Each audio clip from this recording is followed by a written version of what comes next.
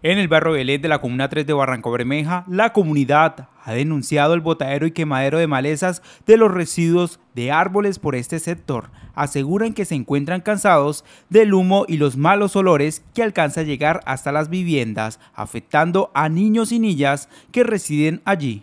Tenemos los habitantes aquí del barrio Belén con los señores que mochan árboles. Mira, allá va uno con, con una carreta echando basura bueno, este tan siquiera la tiró para allá atrás. Pero ya los otros señores, mire lo que hacen. Ya hemos llamado a la policía y la policía no ha visto, ha venido y se ha pillado a unos señores botando basura, pero no les hace comparendo ni nada así. Por eso ellos siguen botando esas basuras aquí. La comunidad espera que las entidades ambientales puedan hacer control frente a este botadero de basura que se ha generado en el barrio Belén.